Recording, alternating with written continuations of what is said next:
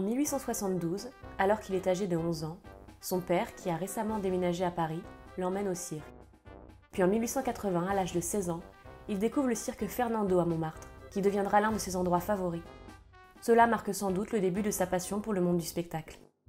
Dans les années 1887-1888, il peint toute une série d'œuvres sur le thème du cirque, dont la plus célèbre est une scène du cirque Fernando, conservée aujourd'hui à Chicago.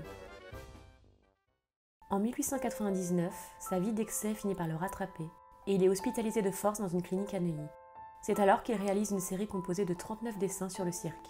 Ces dessins, qu'il réalise de mémoire, convainquent les médecins qu'il a toutes ses facultés mentales et lui offrent ainsi une porte de sortie. Il aurait d'ailleurs déclaré à ce sujet J'ai acheté ma liberté avec mes dessins. Au-delà de son éternelle passion pour le monde du spectacle, sa passion des chevaux, héritée de son père, transparaît clairement dans cette série d'œuvres. Ces œuvres lui permettent également de travailler sur les corps, sur les mouvements, la lumière, mais également sur les émotions des personnages.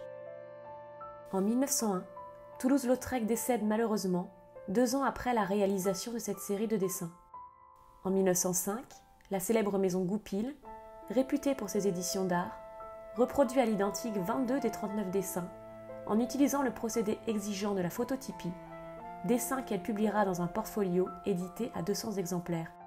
Face au grand succès de cette édition, la Librairie de France éditera les 17 dessins restants en utilisant le même procédé. Le Centre Cristal Éditeur d'Art expose aujourd'hui la totalité des 39 dessins contenus dans ces deux portfolios titrés Au cirque.